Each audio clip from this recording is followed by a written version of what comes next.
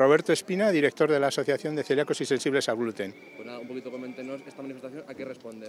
Bueno, la preocupación en los últimos tiempos han subido muchísimo los productos básicos y encima los productos sin gluten todavía son mucho más caros y luego aquí hay, un, hay una clara discriminación especialmente con el resto de Europa, en, los, en el resto de los países hay ayudas para los celíacos y sin embargo en España no existe ningún tipo de, de ayuda. Entonces creemos que esa discriminación ya la llevamos reclamando muchos años las asociaciones, pero creemos que que, bueno, que algún día tienen que conseguir que cambiar y igualarnos a Europa.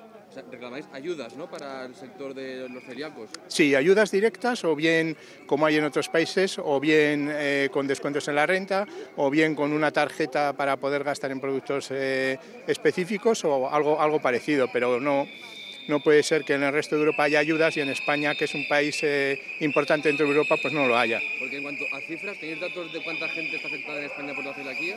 Eh, bueno, aproximadamente puede haber alrededor de 600.000 personas y, luego con, sensibilidad al gluten, que también eh, tienen obligación de hacer dieta sin gluten, puede haber otras, otras tantas. Entonces puede haber alrededor de un millón de personas que hagan dieta sin gluten en España.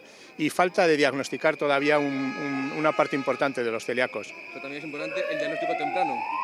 Sí, es importante. quizás en los celíacos eh, clásicos, en los niños, es más fácil el diagnóstico, pero en adultos se tarda bastante en diagnosticar.